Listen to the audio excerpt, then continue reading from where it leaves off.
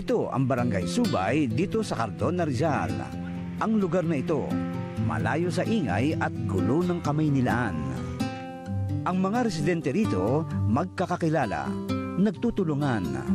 Pero doy, sisiklab pala ang matinding sigalot sa pagitan ng dalawang pamilya. Walang iwanan ha. Nagsimula ang lahat noong 13 ng Setyembre taong 2017. Nooy isang inuman raw ang ginanap sa tahanan ng mga magbuo. Noong mga panong iyon, si Frederica, marami-rami na raw ang nainom. Kaya naman, naging makulit na raw ito. Pare! Oh, tagay mo na. Pas mo na pre, pupuntahan pa ako eh. Pare, parang natabla ako nito eh. Oh, sige, isa lang ha. Yun! Habang patuloy ang kasiyahan ng pamilya magbuo. Ang isa namang miyembro ng pamilya Mungaya na si Randy napadaan rin Pare sa Randy! mga nagiinuman. Dito ka muna! Pas muna ako dyan, Tol. Eh, ngayon ka pa Dito, pas muna talaga ako dyan. Tira! Next time na lang. Sa kabila nito, naman to. hindi raw natinag si Frederic sa pagpilit kay Randy para Next time tumagal. na lang, Tol. Next time na lang. Isang beses lang! Hindi naman sa ganun, Tol. Igagawin pa kasi ako. Sige na! Ang patuloy na pangungulit ni Frederic, magigimit siya ng pakisama eh. mainit na konfrontasyon. Ang kulit mo eh! Pare, bakit mo sinutok? Ano nangyari? Ikaw, Randy! Bakit mo sinutok yung kapatid ko? Yung kapatid mo makulit! Dahil dito, sumiklab ang gulo. Reklamo kita sa barangay! Sige! Kahit saan tayo makarating! Sige! Dahil dito, idinulog na nga ng pamilya Loyola ang naturang insidente sa tanggapan ng Barangay Subay. Tumayong tagapamagitan na magkabilang kampo ang nooy kagawad na si Emelita Gaher. Simula pa lang raw ng pag-uusap, naging mainit na ang diskusyon. Kapatid ko, lasing na lasing. Anong laban yan sa'yo? Kaya mo lang yung mga walang kaya sa'yo? Ang pamilya magbuo, iginiit ang pagiging argabyado, habang ang pamilya Mangoya naman pinanindigan ang naging katwiran. Makulit nga eh! Sa kabila ng mainit na bangayan, sinubukan raw noon ng kagawad na pagkasunduin ang magkabilang panig. Magkano naman yon? Isang libo lang po! Randy, isang libo raw. Ah, sige po, magbabayad po ako. Kasunod ng pagsagot ni Randy sa mga naging gastusin ni Frederick sa pagpapagamot, inakala raw ng lahat na manunumbalik na ang katahimikan sa lugar. Tapang-tapang mo nun sa barangay ah. Sino pinagmamalaki mo? Yung mga kapatid mo? Sa puntong Wala yun, akong pinagmamalaki. nagbanta pa At huwag umano mo si Randy. tinatakot, ha? Hindi kita tinatakot. Ang laki-laki mong tao, pumapatol ka sa laseng. Magkikita tayo muli! Bagamat nabahala sila sa pagbabantang iyon, ilang araw lamang ay nakalimutan raw nila ito. Pero darating pala ang panahon na ang galit na itinanim ay sisiklab din. Dalawang buwan pa ang lumipas. A 12 ng Nobyembre 2017, masaya ang reunion na nagaganap sa tahanan ng mga magbuo. Pero tila ito raw ang dahilan sa muling pagliliyab ng galit na itinanim ni Randy Mongaya. Ang mabigat pa, sa pagkakataong ito, si Randy kasangga na ang kanyang kapatid na si Marvin. Ang sayo nyo, pwede bang makikanta?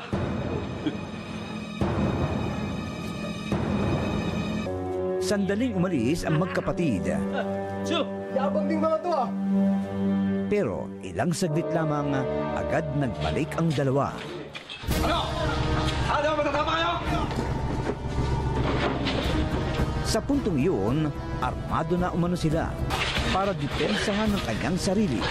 Kumuha raw ng kahoy si Reynaldo. Pero nooy, si Marvin sumugod na din. Dahil dito, nagkaroon na raw ng tsansa si Randy na undayan ng saksak si Reynaldo. Sinubukan raw ni Marivic na tulungan si Reynaldo. Pero bago pa siya makalapit sa asawa, ay siya naman ang binalingan ni Randy. Ang nakababatang kapatid namang si Michael, ang kasunod na hinarap ni Randy. Sa matinding pangyayari, Natulala na lamang raw si Marinette. Hindi niya alam ang gagawin. Hindi niya alam kung sino sa mga kaanak ang unang sasaklolohan. Si Randy, patuloy naman raw ang pagtupuyo sa galit. Noon, pinunsirya naman ito si Frederick. Sa puntong yun, tumulong na rin daw si Mark John. Sinuntok nito si Marvin, kaya siya naman ang hinabol ng magkapatid. Sa puntong yun, humupa na raw ang tensyon. Pero sa pagtatapos ng gulo, apat na miyembro ng pamilya magbuo ang naiwang duguan.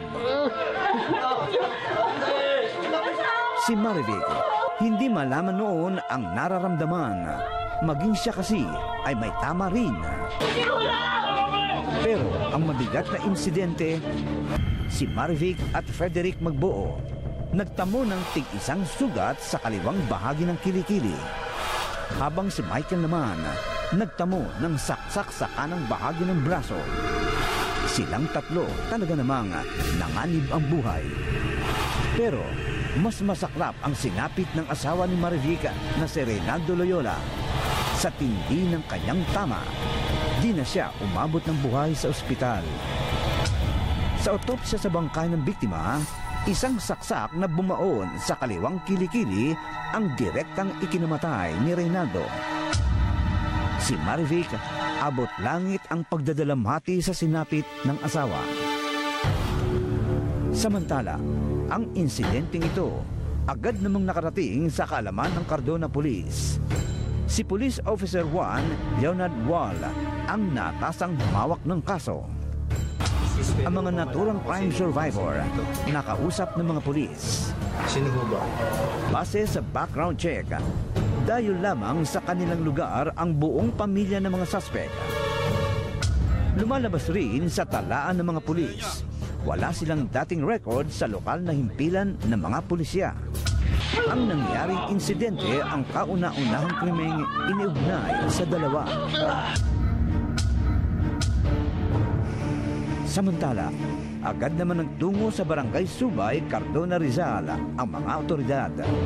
At dito na nila natuklasang may nakakuha pala ng cellphone video sa insidente. Napasa kamay ng inyong ABS-CBN Soko ang naturang video. Sa video, makikita ang lalaking nakakulay berdeng damit na sumusugod. Siya raw si Randy Mungaya. Habang ang lalaki namang nakahubad at may dalang pamalo ay ang kapatid niyang si Marvin. Maririnig pa sa video ang sigawan ng mga taong naroon. Hanggang sa rumehistro na nga sa video ang pananaksak ni Randy kay Reynaldo at Marivic na nakunan pang bumagsak sa kalsada. Bukod pa diyan, rumehistro din ang pananaksak ni Randy sa isa pang lalaki. Nakunan din ng video ang pagtakas ng magkapatid ng suspect. Ang bidyong ito sumuporta sa salaysay ng mga nakaligtas na biktima. Kaya nga, pumilos na ang mga pulis upang dakpin ang magkapatid na Randy at Marvin Mungaya. Ang problema, nooy, nakatakas na ang mga suspect. Maging ang kanilang mga kamag-anakan na pwede sanang hingan ng impormasyon ay nilisan na rin ang lugar. Sa kabila nito, patuloy naman ang pagsasampa ng kaso laban sa magkapatid na Randy at Marvin Mungaya. Ang sinampa po namin kaso doon is murder and three counts of frustrated murder dahil po doon sa ginawa niyang pananaksak doon po sa magkakapatid at sa asawa po niyong at saka sa asawa po nitong si Ate Maribing. Yun nga lang, habang patuloy na di naaresto ang mga suspek, patuloy rin ang pagluluksa ng mga magbuo. Ngayon, sila naman ang patuloy na nakakaramdam ng matinding galit para sa magkapatid na Randy at Marvin Mungaya. Narito ang kwentong krimeng tampok ng inyong ABS-CBN Soko.